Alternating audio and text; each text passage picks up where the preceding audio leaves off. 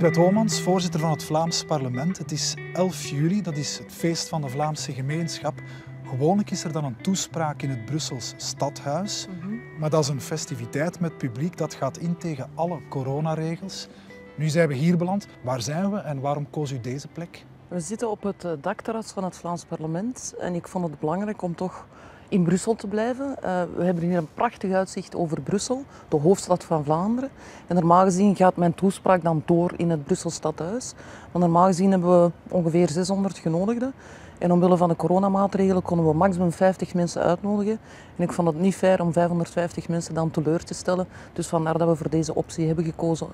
Dat is een eh, corona-aanpak van 11 juli dan. Nu, u heeft geen klassieke toespraak. Dit is bijvoorbeeld een interview. Misschien ook omdat in deze coronatijden mensen niet zitten te wachten op een typische communautaire 11 juli toespraak? Oh, dat denk ik niet. Ik denk dat de mensen ook wel wachten op antwoorden wat er eigenlijk allemaal is verkeerd gegaan tussen de verschillende bevoegdheidsniveaus. Het federale, het Vlaamse, alles kan wel beter, maar ik denk dat dat ook wel belangrijk is om op deze manier toch op onze Vlaamse feestdag vandaag uh, de Vlamingen ook een positieve boodschap uh, te geven. Eigenlijk te zeggen van kijk, als Vlamingen hebben wij zoveel tegenslagen overwonnen, we hebben zoveel strijden gewonnen.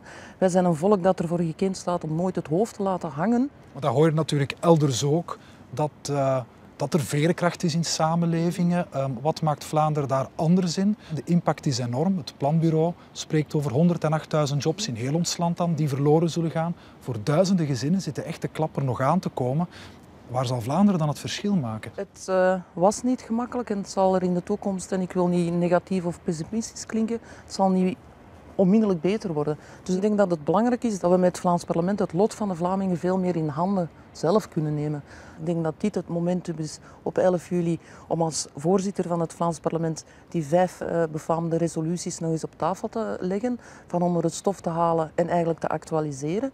En ik zeg dit niet alleen omwille van het feit dat we vandaag 11 juli zijn, onze Vlaamse feestdag, maar ook omdat de federale onderhandelaars hebben gezegd van we werken toe naar 21 juli. Dat is nog tien dagen. Dus ik hoop dat de federale onderhandelaars ook meenemen dat het zeer belangrijk is om over die bevoegdheden te spreken. Dat zijn die vijf resoluties van 99 inderdaad. Die zijn dan 21 jaar oud. Nu, die gingen, of die gaan, want ze bestaan nog, vrij ver. Dat is eigenlijk bijna confederalisme. Twee entiteiten, homogene bevoegdheidspakketten. Personenbelasting moet naar de deelstaten en zo meer. We zijn er eigenlijk nog ver van. Absoluut. Gaat u daar, denkt u dat u daar vandaag ook zo'n meerderheid voor zou vinden in het parlement? Toen was daar een consensus over. Bijna een consensus in 1999, um, maar we hebben wel een momentum. Het is de coronacrisis. Ik denk dat iedereen ervan overtuigd is en ik zeg dat niet alleen. En ik wil niet met de beschuldigende vinger wijzen naar één en, en ander. Maar ik denk dat iedereen wel weet en beseft dat er van alles is misgelopen en dat je door coherentere en homogenere bevoegdheidspakketten eigenlijk veel problemen had kunnen voorkomen. Dat is eigenlijk een oproep aan Open VLD, Egbert Lachaert en aan CD&V met Joachim Koens om een Vlaams front te vormen. Een oproep die er vorig jaar trouwens ook was op 11 eh, juli. Dat is eigenlijk een oproep aan iedereen die aan de federale onderhandelingstafel zit en het uh, eigenlijk uh, goed voor heeft met zowel de belangen van de Vlamingen als de Franstaligen, om die bevoegdheden eigenlijk op de niveaus te brengen waar ze thuis horen en die het dichtste liggen bij de mensen. En dat komt niet alleen Vlaanderen te goede, komt ook de Franstaligen te goede. Je hoort dan bijvoorbeeld een Open VLD die zelfs spreekt over het gaan herfederaliseren, zoals de gezondheidszorg na deze coronacrisis. Een partij die zegt ik ben Egbert Lachaert één en onverdeeld met um, Boucher. Boucher die uh, begin dit jaar nog sprak over de Belgische eenheidsstaat, een unitarist. Ziet er dan niet goed uit voor die Vlaamse resoluties. Ja, dat kunnen we natuurlijk, die Vlaamse resoluties, autonoom hier in het Vlaams parlement beslissen. Hè. Wij gaan die bespreken. We kunnen ook de commissie institutionele hervorming oprichten. Er is eigenlijk ook al een afspraak dat we dat gaan doen. Een afspraak in het uitgebreid bureau van dit Vlaams parlement. Maar ik denk dat iedereen die het goed voor heeft met de Vlaming, of met de Walen, met de Franstaligen, geen genoegen kan nemen met een status quo. Dat geldt niet alleen voor het Vlaams parlement, dat geldt ook voor de Franstaligen corona heeft hier ook de werking in het parlement uh, helemaal, ik zou zeggen, in de war gestuurd. Of het moest allemaal op een andere manier. Digitaal stemmen werd hier, het was een primeur in het parlement, voor het eerst ingevoerd. Maar uh, meteen even naar uzelf, parlementsleden. Ja, die kwamen en gingen, ze waren met weinigen, maar u moest hier altijd wel zijn natuurlijk. Op bepaalde momenten zat u hier quasi alleen in het halfrond. Uh, ja, maar dat is natuurlijk ook mijn job uh, als, als voorzitter. En uh, ik wou van bij aanvang absoluut geen volmachtenparlement worden. Ik heb dat heel direct duidelijk gemaakt. Van... Federaal was dat het geval? Federaal was een volmachtenparlement, maar ik vond dat dit parlement zijn controlerende en wetgevende functie altijd moest blijven kunnen uitoefenen. Dus wij hebben samen met de diensten een dikke pluim voor de diensten bij deze. En, en onmiddellijk eigenlijk een digitaal stemsysteem kunnen ontwikkelen, zodanig dat we maar met een beperkt aantal leden aanwezig moesten zijn, omwille van alle maatregelen die genomen waren van afstand en, en uh, eigenlijk iedereen moest in zijn kont blijven.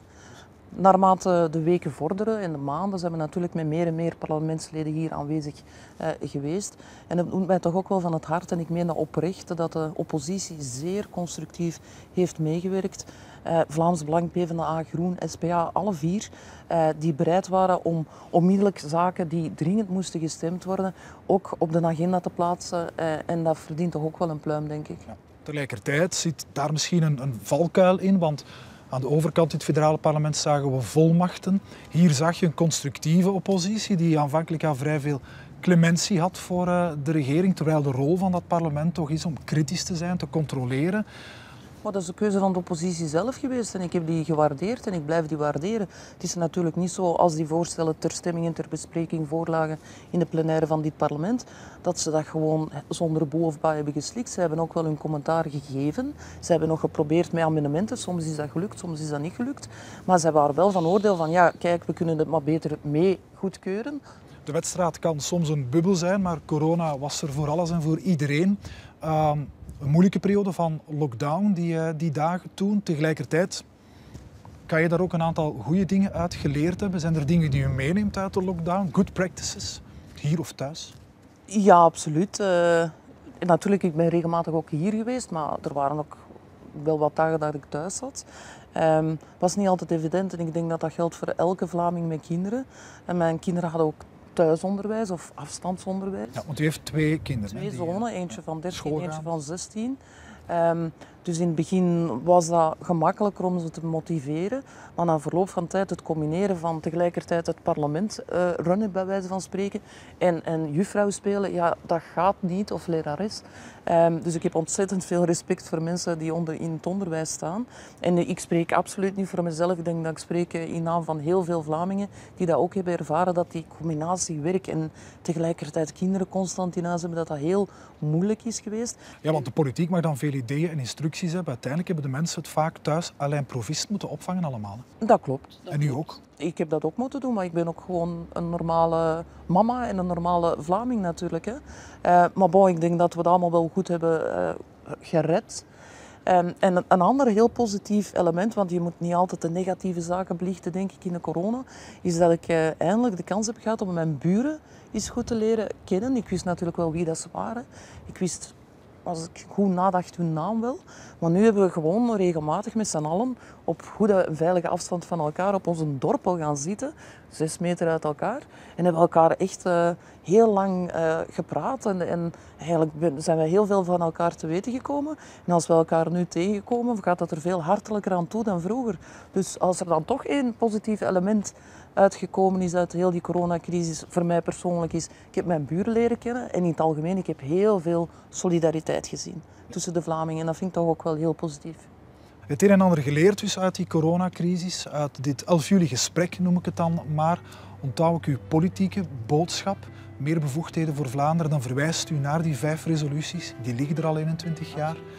Tegelijk, u heeft de buren leren kennen. U kan misschien samen met hen die 11 juli vieren. Zou kunnen, maar op veilige afstand dan. Hè? Ja, bedankt voor dit gesprek. Graag gedaan.